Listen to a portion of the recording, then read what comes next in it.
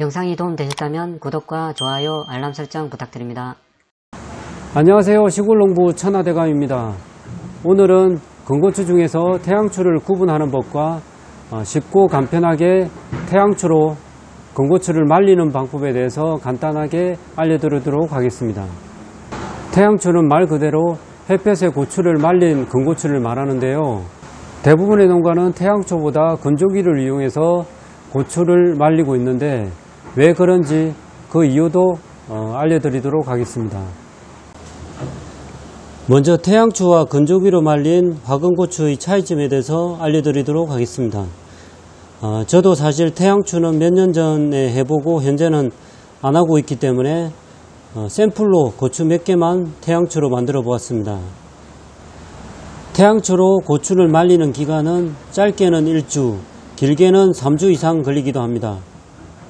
햇볕의 양과 온도 그리고 고추의 품종에 따라 어, 건조기간이 차이가 나는데요.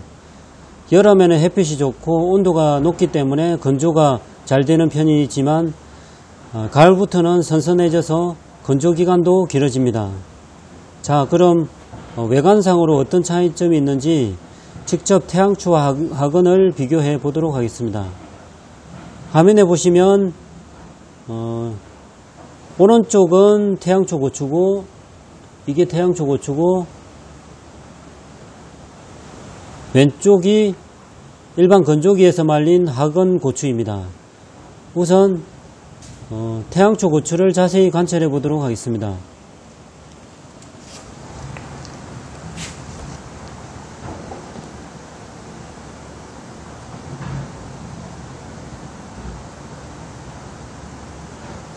외관을 보면 어, 태양초는 고추의 끝부분이 영상에서처럼 이렇게 각이 나타나 있는 것이 특징입니다.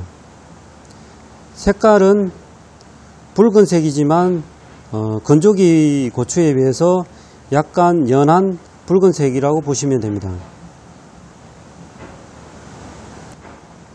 태양초 고추는 건조기로 말린 화근 고추에 비해서 어, 천천히 오랜 기간 동안 말려야 되기 때문에 고추의 외관이 각이 나타나기 나는 것이 특징입니다.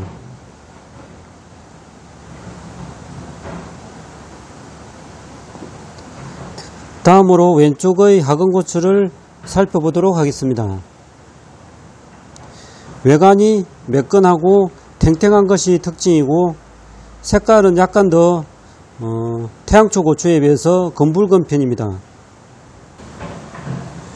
사실 태양초는 빛깔은 좋은 편이지만 어, 외관이 어, 매끈하지도 않고 어, 화근 고추에 비해서 이쁜 편도 아닙니다.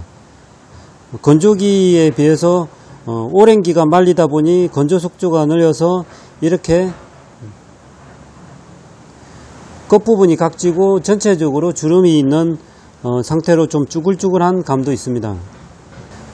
태양초의 경우는 날씨의 영향을 많이 받기 때문에 어, 비가 자주 오면 곰팡이가 피고 썩기 쉽습니다. 그런 이유로 어, 대부분의 농가는 태양초보다는 화근고추 즉 어, 건조기를 이용해서 고추를 말리는 편입니다.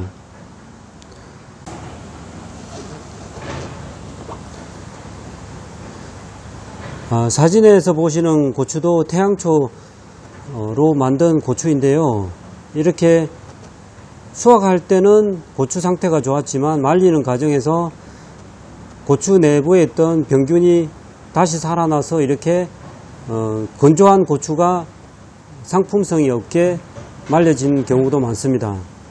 그래서 태양초의 경우는 전체 건조한 고추의 한 10%, 10%에서 많게는 30%까지 어, 썩거나 이렇게 병균이 옮아오기 때문에 버려야 되는 경우가 많은 편입니다. 다음으로 태양초 만드는 방법에 대해서 어, 알려드리도록 하겠습니다. 어, 고추를 수확하면 사진처럼 포대자루에 넣고 4일 정도 후숙 과정을 거쳐야 합니다. 포대에 넣고 그늘지고 통풍이 잘 되는 곳에 며칠 두면 색도 더 붉어집니다. 후숙 과정이 끝나면 하우스에 전체적으로 펼쳐서 다시 4일 정도 차광망을 덮어서 말려주는데요. 어, 매일 아침에 고추를 뒤집는 작업을 꼭 해야 어, 때깔 좋은 건고추가 만들어집니다. 보통 태양초의 경우 건조 중에 썩는 비율이 많기 때문에 일부 농가는 세척을 생략하는 경우가 많습니다. 세척을 하면 물기가 어, 고추의 꼭지 부분에 남아서 습한 날씨에 곰팡이가 생겨 고추가 썩기 때문입니다. 그래서 태양초를 구입하셨다면 꼭 한번 닦아주시고 고춧가루로 분쇄하는 것이 좋습니다. 태양초는 최소 일주일 이상 말려야 되기 때문에 어, 천천히 건조됨으로 주름이 많고 각이 져 있는 반면 건조기 고추는 매끈하고 검붉은 색깔을 나타냅니다. 건조 시간과 온도 차이 때문에 그런 특징이 나타나는 것 같습니다. 제대로 확인하셔서 가짜 태양초에 속지 마시기 바랍니다. 대부분의 태양초 고추라고 판매하는 것이 어, 건조기로 절반 정도 말리고 하우스에서 절반 정도 말린 고추가 많습니다. 태양초 고추를 구입하실 때 참고하시기 바랍니다. 이상 천하대감이었습니다. 고맙습니다.